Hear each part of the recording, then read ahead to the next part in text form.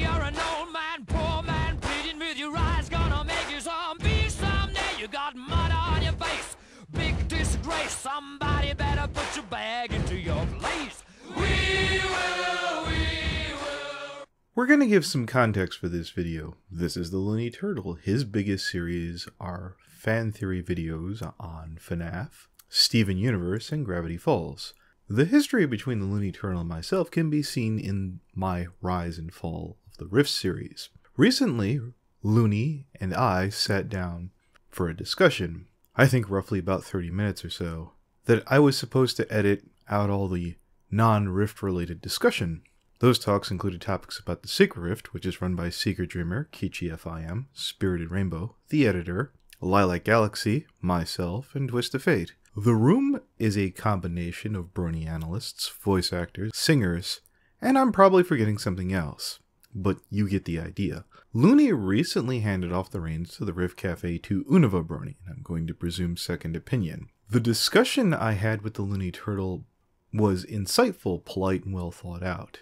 I will not be showing it, and you might find that confusing, so we're going to go with the pros. It would have gave fans the rare look from both perspectives behind the fracture. In both of these brony factions, a complete story that would have been able to hold everyone's attention. And here's the rub. Recently, my desktop had to go into the shop because there were too many things going wrong with it. My recording of Looney and the Rift discussion was on that and Pastel Pros happened to be in the call where she was doing her own recording. That recording was about a half hour longer than mine. There was some urgent and important questions on that call, kids, and Looney opted to ask Pastel Pros questions about me, but not to me. And when I confronted about him, his response, which is about a week old by now, oh, you weren't supposed to hear that. And that's it. I haven't heard anything further on that topic. At every fucking opportunity where I gave Looney a chance to rebuild himself, to open the door, to make things right, Looney turns around and pulls some sneaky bullcrap. So here's the show I had planned and written previously in response to Looney's video. Eric, you are a 16 year old edgelord, at least in spirit. You were born that way, you live that way, until the heat death of the universe, you're gonna die that way. Alright, this is a video from the Looney Turtle. It's called Ranting About Rants. She did what? Kick her from the fandom and burn her like a witch. Oh, wait. If she's kicked from the fandom, then how can you burn her? Uh, then burn her like a witch, then kick her from the fandom. Yeah, that's what I said. So I'm going to draw an assumption on somewhat recent events.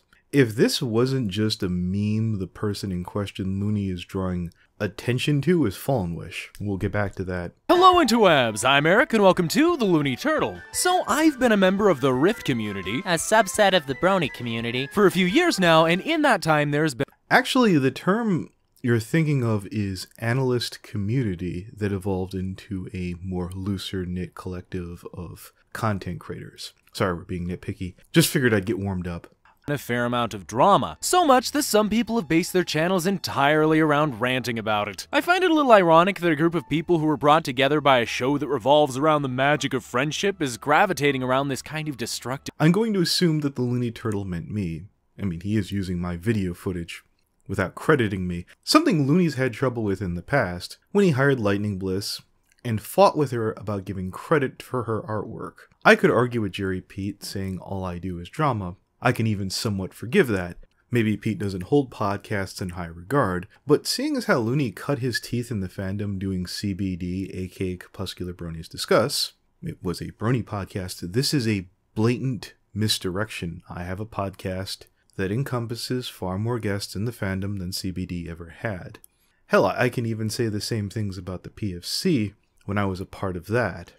Drawing in comparison, PFC was a more diversified podcast to Crepuscular Bronies Discuss.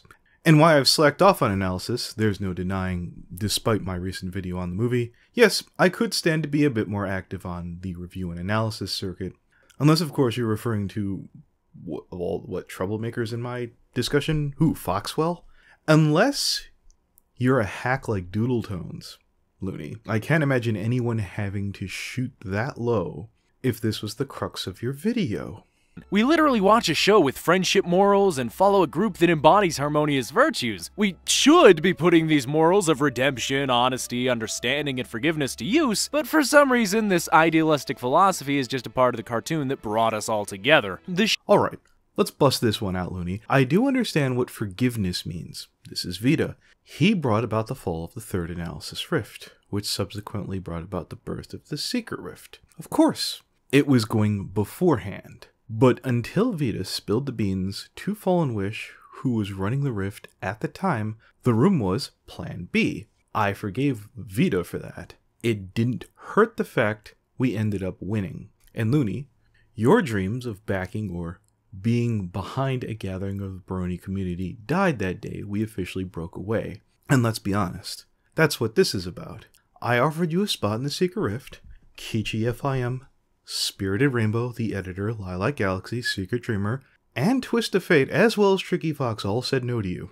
You know this because I've straight up told you all of these Secret Rift mods told you to fly a kite. None of these people have drama channels. The guy who does whole scale drama was the only guy willing to work with you.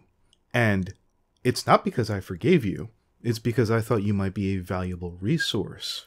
That it would be foolish to throw the baby out with the bathwater, and ditching your talent because you're a shitty human being would be nearsighted. I didn't have to forgive you to see that you have talent. The editor, Tricky Fox, Secret Dreamer, Kichi FIM, Spirited Rainbow, Lilac Galaxy, and Twist of Fate felt that you were untrustworthy from past experiences, that no amount of talent would be worth dealing with you. This is a fact, not a narrative spin. Joe may be preaching to the choir, but I suppose it's understandable. When rant videos are made, it's usually a spur of the moment thing rather than a carefully considered narrative. You want to bring them down a peg, treat them like a child, sit them down, or get them to drink bleach. Drink bleach and die, Looney. Go to a Google Hangout and hang yourself. Buy a rope. You can do it, Looney.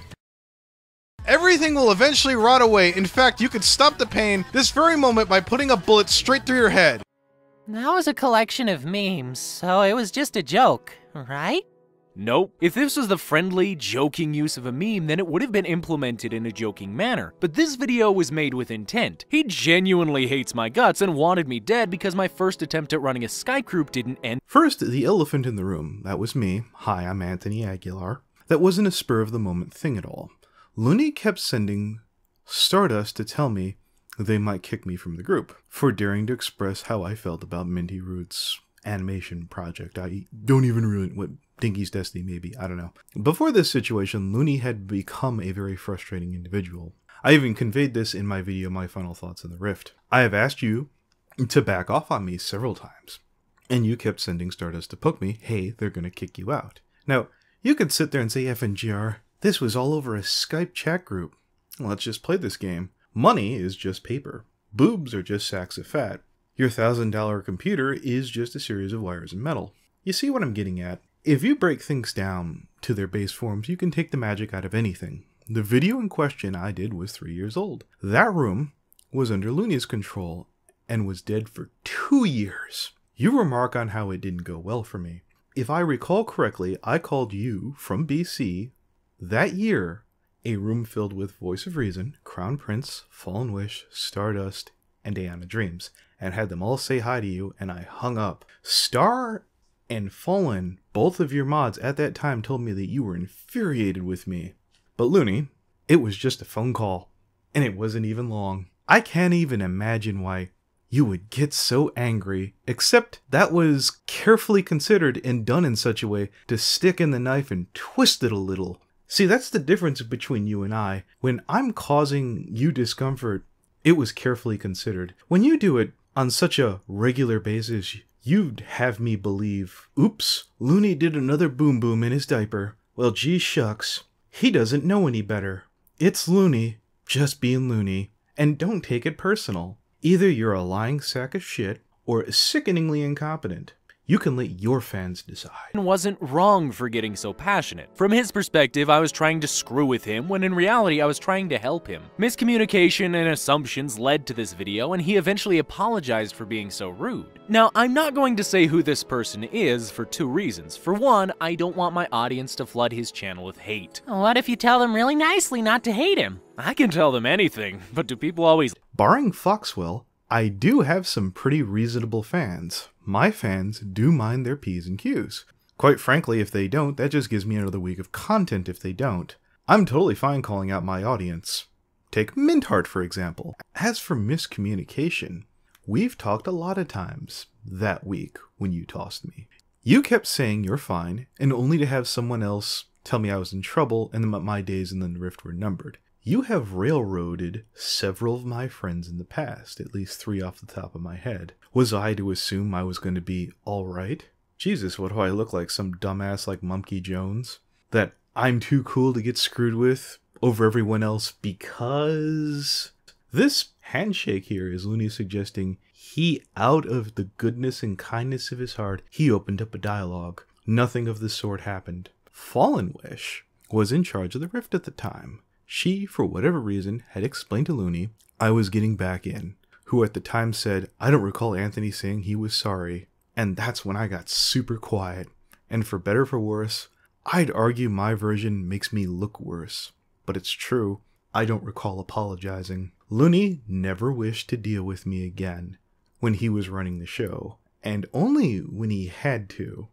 And when the power had slipped away from him, he then considered talking to me. Wait, I'm also gonna review the comments before they get published. Good. The second reason is because I don't support his content. If I don't support something, then I don't want to make it easy for my viewers to find it. All publicity is good publicity, after all. That being said, I bring this person up as an example of how heated and destructive a rant video can be. Not only was he burning a bridge at this point, but he also wasn't pointing out the problem in a meaningful way. When you yell at people, they tend to shut down or start shouting back, primarily because our fight or flight instincts start to I have sat down on several long discussions with Looney, where he was the kid with all the toys in the playground.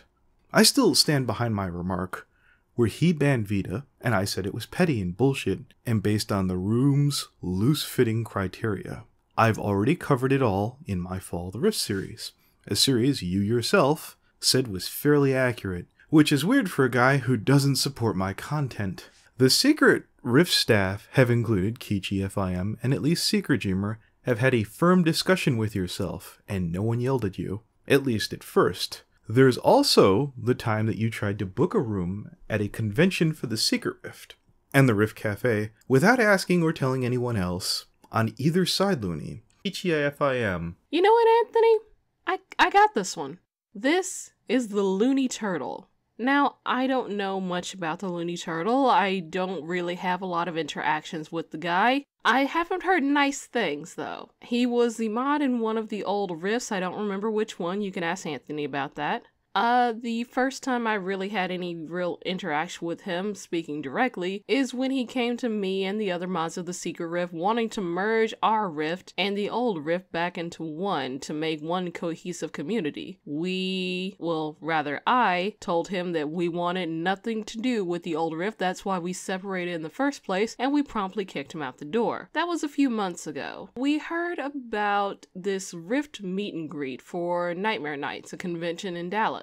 Now, back when we heard about this, I think we heard about it uh, uh, one or two months ago, I don't remember which, we saw that it was a Rift meet and greet and assumed that it was the old Rift wanting to do a thing. We shrugged our shoulders, didn't really care, and we went about our business. Fast forward to now, one week before Nightmare Nights, and we see the description of the Rift meet and greet. Let me let me read this to you right here.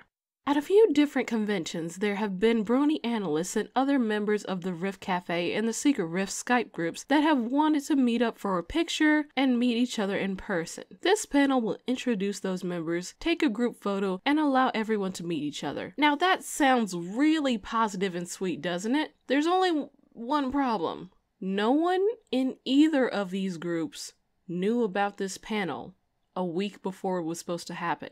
How is it that a panel at one of the major conventions was occurring and neither group was aware. After doing a lot of digging, asking literally everyone, including the mods of the Secret Rift and the Old Rift Cafe, we found out that it was the Looney Turtle that planned this meetup. He didn't tell anyone. He submitted an application to Nightmare Nights and I, I, guess forgot about it. It was approved, and now there is a vacancy at Nightmare Nights for a panel that no one's hosting. None of the members of the Old Rift are going to be at Nightmare Nights. The members of the Secret Rift, a few of them are going to be there, but who wants to take out their time to host a one hour panel? When one of Looney's mods in the Old Rift went to him, this is Crimson Glow by the way, this is what he had to say. Where in any of the Rift rules does it state that you must get approval before setting up a meet? If it's in the secret Rift rules, then I couldn't have known. My cafe YouTube page doesn't have any rules about it. The cafe wiki doesn't have any information. As far as I know, the cafe chat doesn't have any rules about it. I had the YouTube page owner's permission, but seeing how that's me, that didn't mean much to you. I didn't want to announce that a panel was happening before I got permission to do it, and to reiterate, I planned on running it so you guys wouldn't have to worry about it. Now, what do you want me to do aside from saying sorry? Yes, it's serious, but honestly, what do you expect me to do? Repeat the same thing over and over again? That won't change the fact that the panel is happening. That won't change my ability to be there. It won't change anything aside from how I sign up for panels in the future, so what do you honestly want from me? Now, there is a lot wrong with this statement.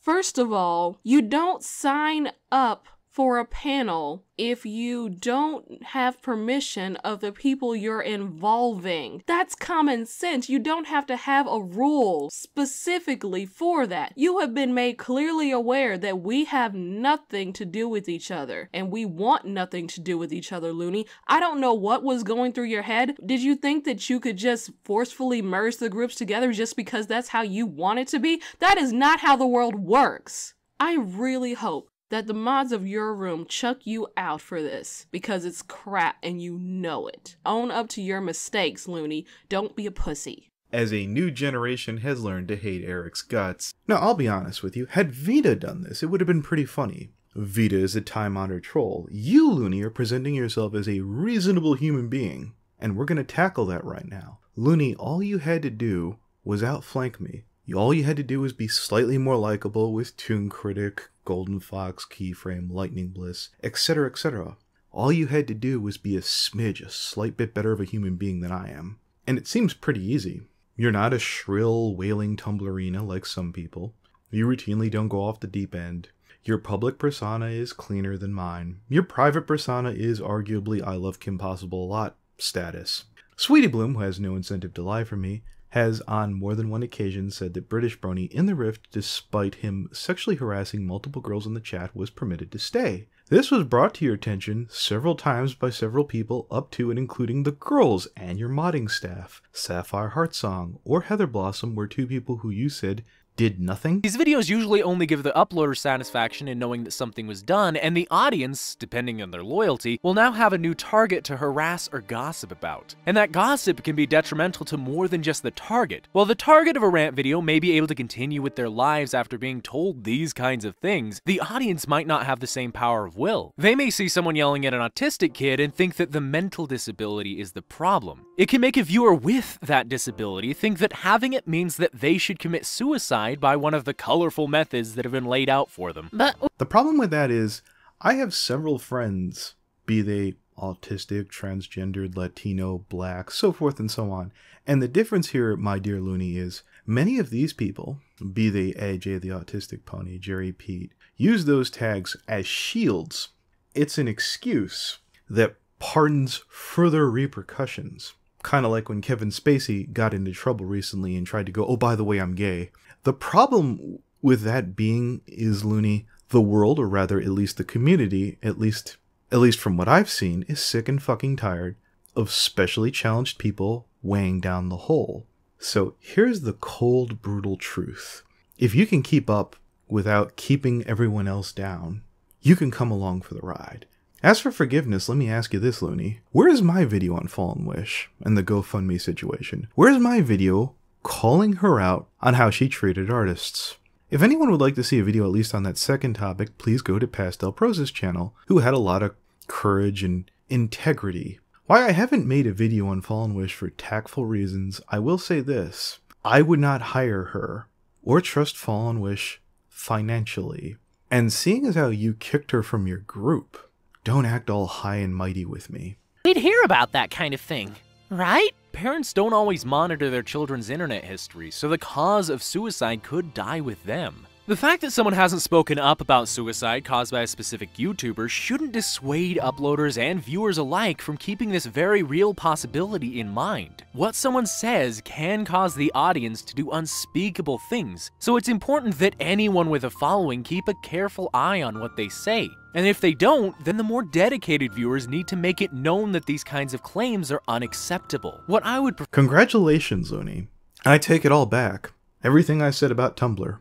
It's the parent's responsibility to look after a child's well being online, a la Mintheart. End story. Mintheart is a loudmouthed, foul little girl who beds older gentlemen online who I've personally told to log off the internet and went ahead and told Pristine, one of my fans, to kill herself because she tried to be reasonable. That's unacceptable. And that's the other thing. Pristine is not in my group. She's not in any of my groups. I am not some emotionless ogre that only looks after me and my own. Did you also notice here, Looney said that the audience had the responsibility to tell people to stop? You guys, not him, you guys. Let's play that again. And the more dedicated viewers need to make it known that these kinds of claims are unacceptable. This is passing the buck with Looney Turtle. I would prefer to see, and what I think would do a lot more good than damage, is a constructive discussion video, as opposed to these hate-filled rants. How would you make one of those? Well, the uploader needs to do three things. Give context, acknowledge the mistakes that were made, and supply a solution for the people involved. Rather than trying to take them down a peg, approach it like you're a friend with genuine concerns about the other person's well-being and show them a level of understanding. Give them the benefit of the doubt if you don't have all the facts. Point out the mistakes that were made by everyone involved in the conflict. That way, your target won't immediately shut down and has the opportunity to To quote Voice of Reason, show don't tell. Now, granted, I did offer you a podcast,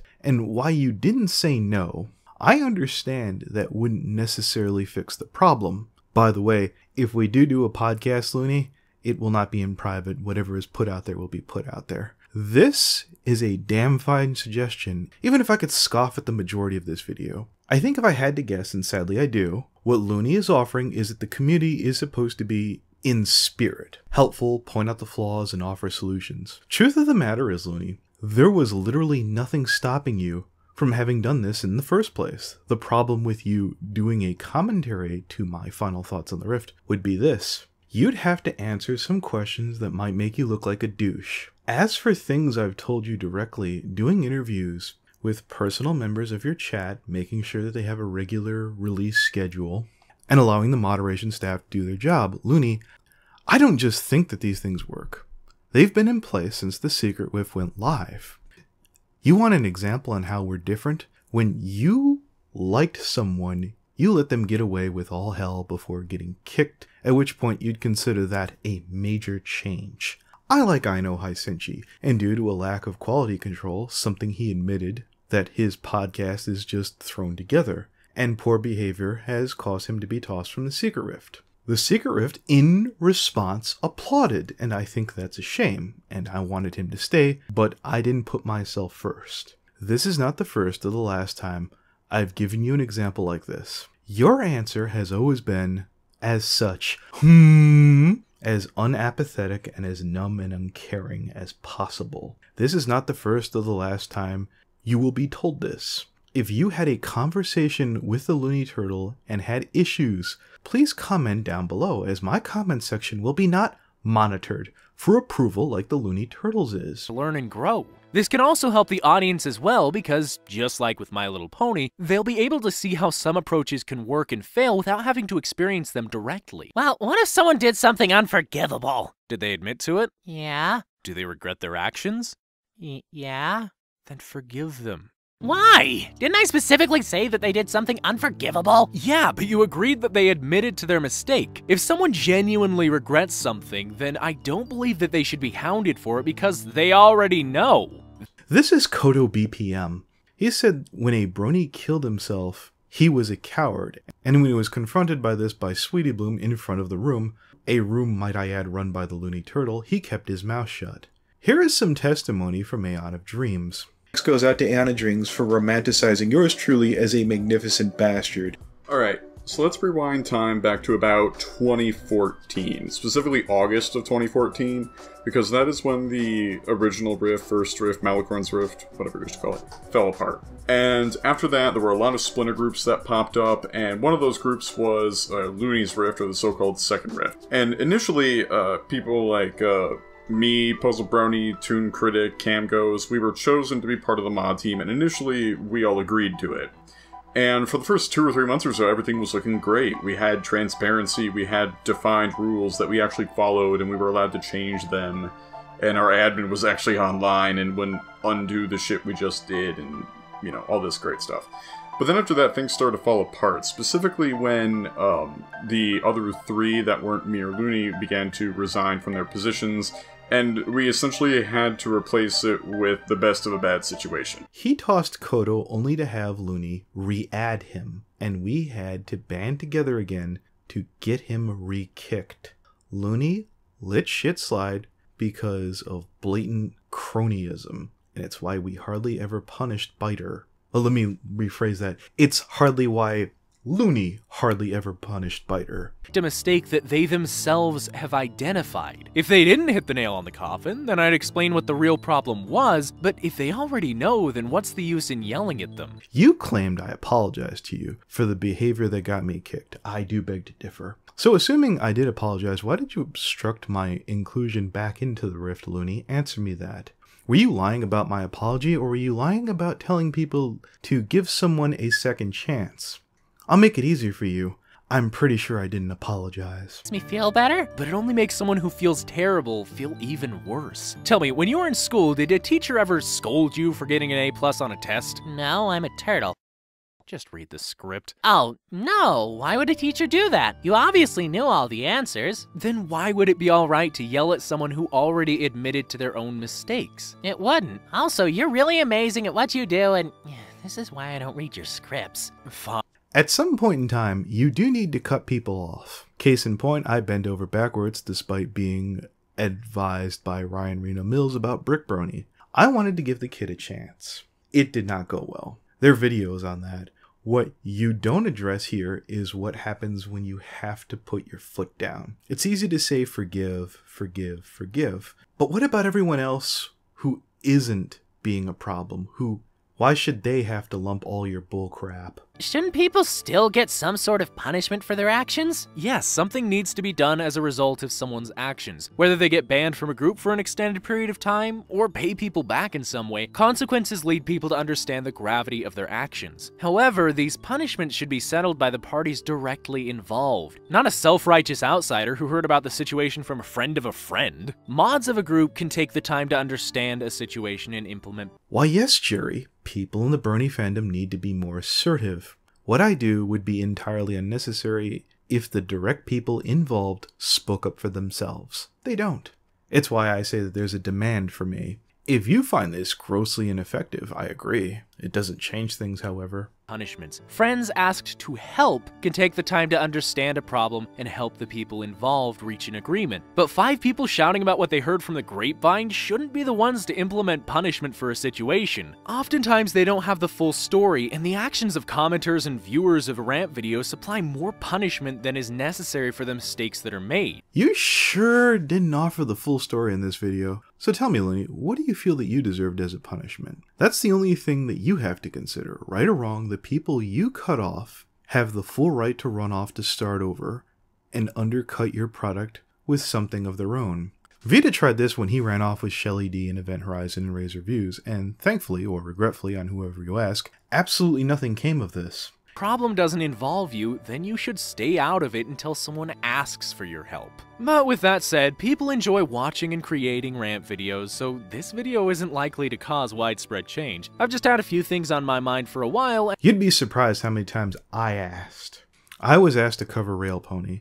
I was asked to cover Brick Brony. I was asked several times to cover you. People won't stop asking me to cover Jerry. I do sometimes go with what I want to do. But my question is to quote Dylan Thomas Why do you set the limit? Why do you get to morally tell him what to do? Why do you get to be his moral superior? Thank you, fuck you, bye.